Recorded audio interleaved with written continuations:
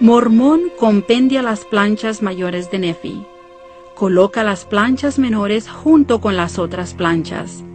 El rey Benjamín establece la paz en la tierra.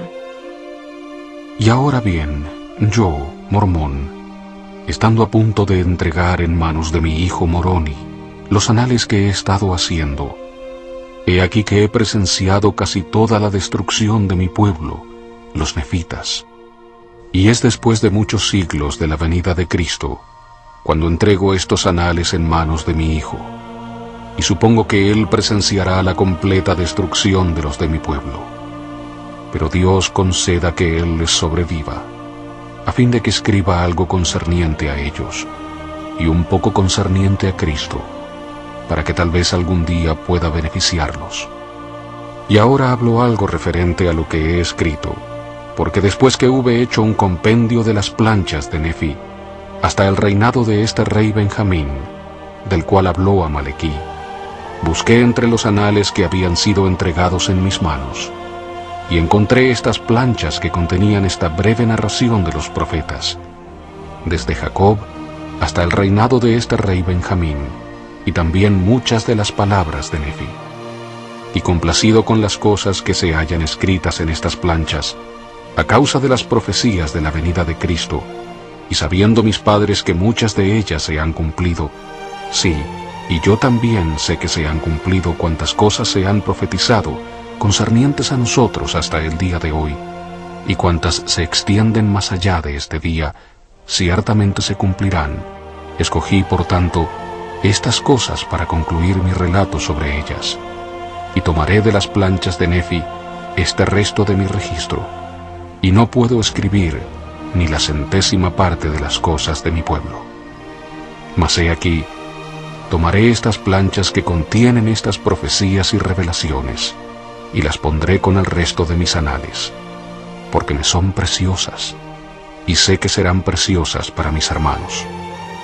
Y hago esto para un sabio propósito, pues así se me susurra,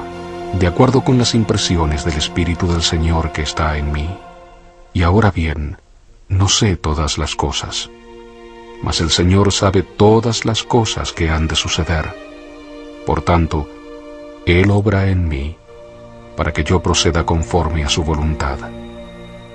Y mi oración a Dios es concerniente a mis hermanos, que ellos vuelvan una vez más al conocimiento de Dios, sí, la redención de Cristo, para que de nuevo sean un pueblo deleitable. Y ahora yo, mormón, procedo a concluir mis anales, los cuales tomo de las planchas de Nefi, y lo hago según el saber y el entendimiento que Dios me ha dado. Por lo que aconteció que después que Amalequí hubo entregado estas planchas en manos del rey Benjamín, éste las tomó y las puso con las otras planchas, que contenían anales que los reyes habían transmitido de generación en generación hasta los días del rey Benjamín, y fueron transmitidas de generación en generación, desde el rey Benjamín hasta que han llegado a mis manos. Y yo, mormón, ruego a Dios que sean preservadas desde hoy en adelante. Y sé que serán preservadas, porque sobre ellas están escritas grandes cosas, por las cuales mi pueblo y sus hermanos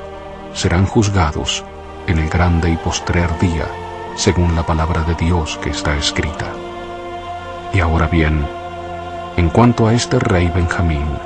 él tuvo algunas contiendas entre su propio pueblo, y sucedió también que los ejércitos de los lamanitas descendieron de la tierra de Nefi para pelear contra su pueblo. Mas he aquí, el rey Benjamín reunió a sus ejércitos y les hizo frente, y luchó con la fuerza de su propio brazo, con la espada de Labán y con la fuerza del Señor pugnaron contra sus enemigos, hasta que hubieron matado a muchos miles de los lamanitas. Y sucedió que contendieron contra los lamanitas hasta que los hubieron echado fuera de las tierras de su herencia. Y ocurrió que después de haber habido falsos cristos, y de haber sido cerradas sus bocas, y ellos castigados según sus crímenes, y después de haber habido falsos profetas y falsos predicadores y maestros entre el pueblo, y después de haber sido castigados todos estos según sus crímenes, y después de haber habido mucha contención y muchas diserciones a los lamanitas, he aquí, sucedió que el rey Benjamín, con la ayuda de los santos profetas que había entre su pueblo, pues he aquí, el rey Benjamín era un hombre santo y reinaba sobre su pueblo con justicia, y había muchos santos hombres en el país, y declaraban la palabra de Dios con poder y con autoridad, y ejercían mucha severidad a causa de la obstinación del pueblo. Así pues, con la ayuda de estos, trabajando con todas las fuerzas de su cuerpo y las facultades de su alma entera, y lo mismo los profetas, el rey Benjamín nuevamente estableció la paz en el país.